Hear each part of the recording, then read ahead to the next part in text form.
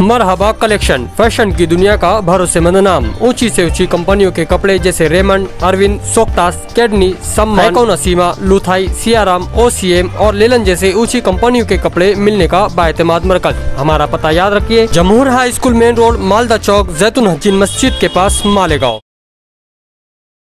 आज national highway number तीन पर सयोग होटल के पास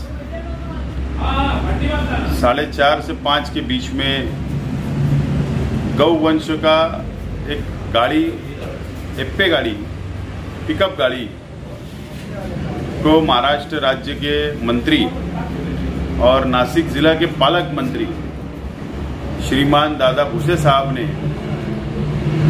गौ वंश का एक पिकअप पकड़कर पुलिस के ताबे में दिया। और पुलिस के ताबे में देना चाहिए। अगर कोई गैर कानूनी काम कर रहा है, कानून हाथ में ले रहा है तो ज़रूर पुलिस के ताबे में देना चाहिए। लेकिन बहुत ताज्जुब की बात है कि हमारे पालक मंत्री महोदय, वो गाड़ी ड्राइवर को गाड़ी से उतर के उसको मारने का काम कर रहे हैं। यानी उसको जाकर उसको मार के, ये घटना जो हुई है तो आज उसका फैसला नहीं हुआ। हो सकता कि वो जो माल है, वो मार्केट कमेटी में जा रहा होगा, वो माल शेतकरियों का होगा, वो माल पालने के लिए ले जाया जा रहा होगा। अभी इसका तपास मुकम्मल बाकी है। सिर्फ़ वो एक उद्देश्य कि ये मालेगांव में जा रहा है, ये स्लैटरिंग करने के लिए जा रहा है, ये जो दिशा भूल करने का काम आजकल इस महाराष्ट्र में और नासिक और मालेगांव शहर में जो हो रहा है, मैं समझता हूँ कि ये ठीक बात नहीं है। इसका तपास मुकम्मल होना चाहिए और पुलिस डिपार्टमेंट से मेरी विनंती है कि जब हमारे नासिक जिला के पालक मंत्री महोदय ने पकड़ के आपको दिया तो आप उसको एफआईआर के अंदर उनका नाम का उल्लेख क्यों नहीं कर रहे आप? तो एफआईआर में नाम का उल्लेख होना माँगता। क्योंकि वीडियो है हमारे पास।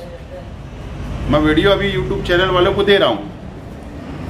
मैं दे रहा हूँ और वो वीडियो पुलिस ने भी तपास करना चाहिए और कम से कम एफआईआर में उल्लेख आना चाहिए कि हमारे कितना बड़ा काम है कि मंत्री पकड़ रहे इसका उल्लेख अगर पुलिस नहीं करेंगे और छुपाएँगी तो मैं समझता हूँ क्यों छुपाया जा रहा है। तो छुपाना नहीं चाहिए, लेकिन अभी तपास इंक्वायरी बाकी है। वो शेतकरी का माल था, वो पालतू माल था, वो मार्केट कमेटी में जा रहा था। ये सब तपास होना बाकी है। सिर्फ़ उसको एक टर्निंग टर्न देना कि स्लैटरिंग के लिए जा रहा था। मैं समझता हूँ ये ठीक नहीं है, उचित बात नहीं है। मालेगांव शहर पहले से बहुत बदनाम किया जा चुका है। अब मालेगांव शहर को बदनाम मत करो। अपनी राजनीति चमकाने के लिए अलग अलग अलग इशू मालेगांव के अंदर निर्माण किए जा रहे हैं। तो मैं समझता हूँ कि इससे फ़ायदा तो होगा, लेकिन दो समाज अलग हो गए तो ये ठीक बात ये शहर के लिए, आने वाले भविष्य के लिए फ्यूचर के लिए ठीक नहीं है। A H C academy Malegaon. NEET J double E की बेहतरीन तैयारी। आईआईटी टीचरों के साथ। एकेडमी की ओर से स्टडी मटेरियल भी। एडमिशन ओपन अब होगी सपनों की उड़ान पूरी। छत्रपति शिवाजी महाराज के पुतले के सामने महेश नगर, मालेगांव।